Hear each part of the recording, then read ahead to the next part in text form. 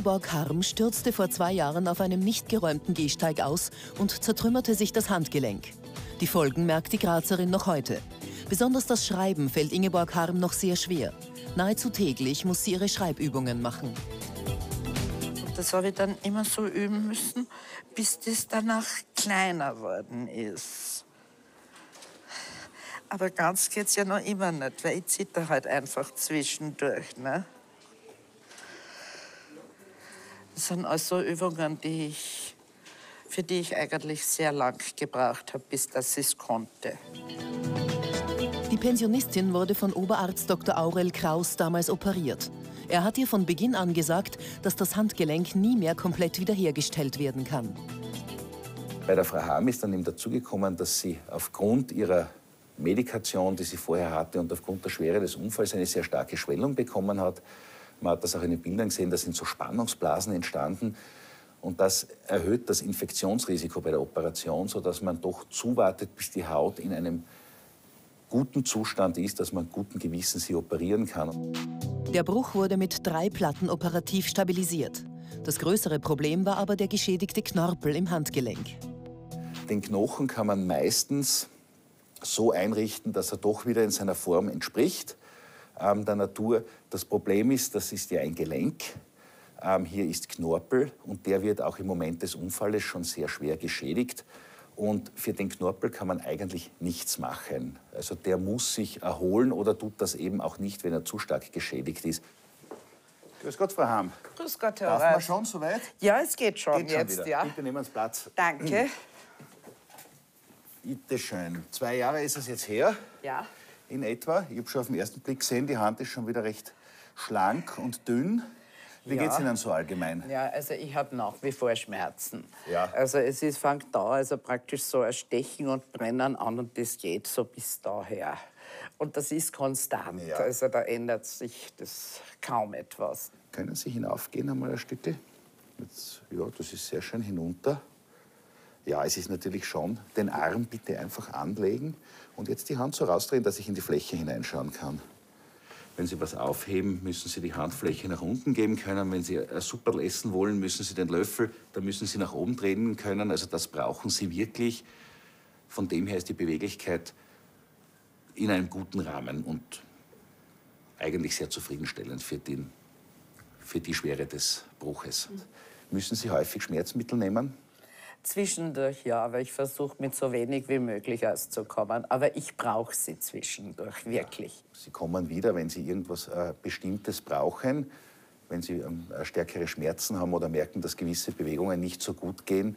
Und äh, eine gewisse Einschränkung werden Sie einfach auch akzeptieren müssen. Das muss man Das einsehen. haben Sie von Anfang an gesagt. Ja. Da waren Sie sehr, sehr ehrlich, Herr Oberarzt.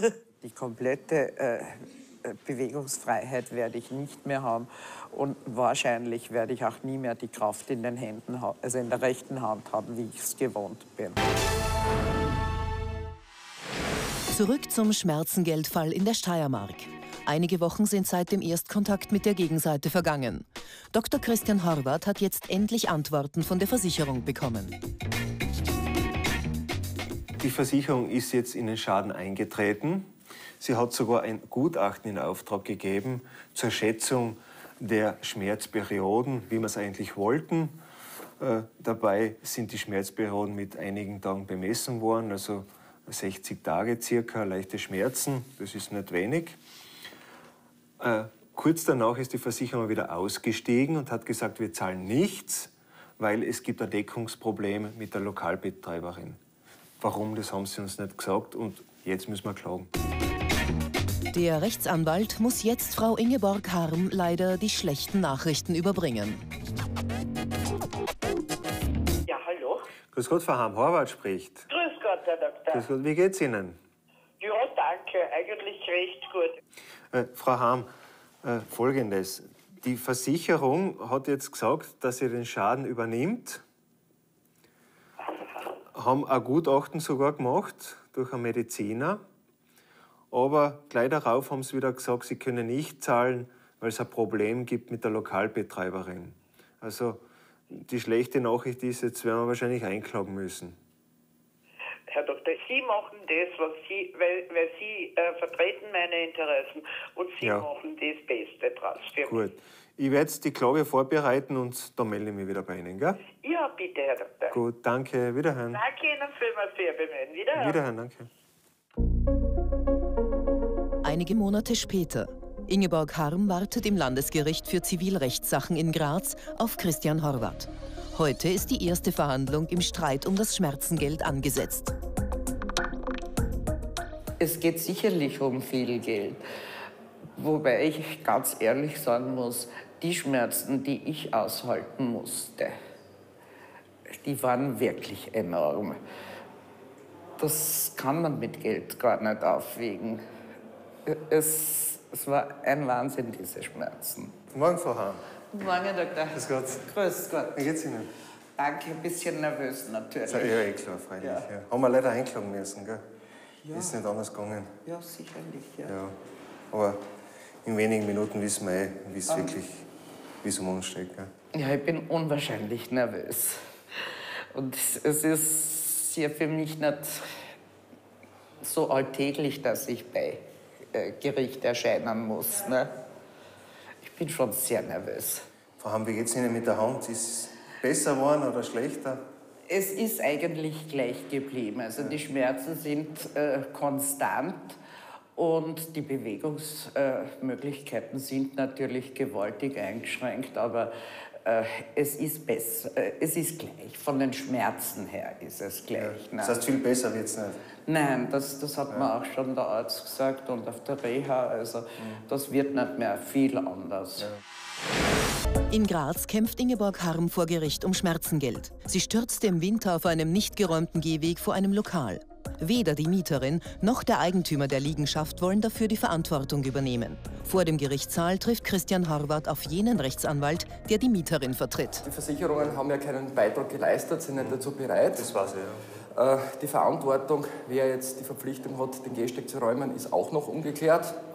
Und jetzt sind noch Spät- und Dauerfolgen ein Thema. Das heißt, Beträge, die in der Zukunft fällig werden, die wir nicht einschätzen können. Meine Mandantin ist nicht bereit, alleine alles zu tragen, zu schlucken. Schauen wir, vielleicht können wir im Gerichtssaal vor dem Richter vielleicht doch noch etwas erreichen. Die Verhandlung dauert fast zwei Stunden. Der Richter hat viele Fragen und auch die zwei Anwälte schenken sich nichts. Letztendlich einigt man sich auf einen Vergleich. Ja, wir haben doch eine Lösung gefunden.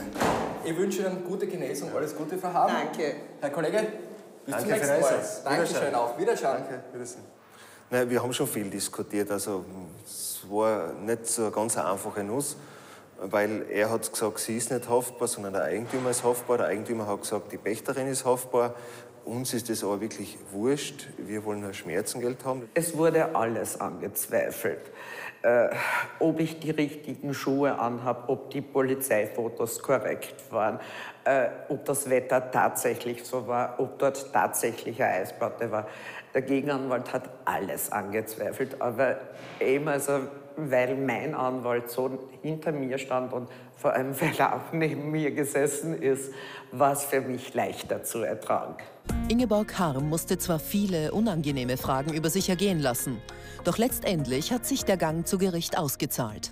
Die Frau Hahn bekommt 7000 Euro plus die ganzen Kosten, was sie gehabt hat, Gerichtsgebühren etc.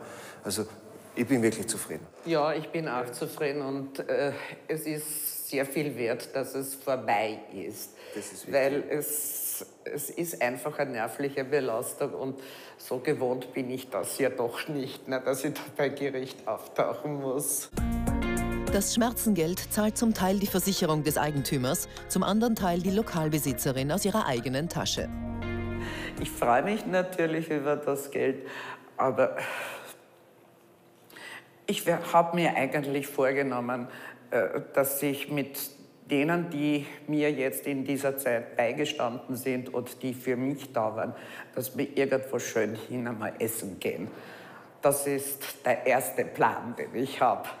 Gut, Frau Hahn. Ich wünsche Ihnen alles Gute. Danke und danke für noch für Ihre Hilfe. Ja, ja danke für Ihre Hilfe. Danke. Wiederschauen. Danke. Wiederschauen.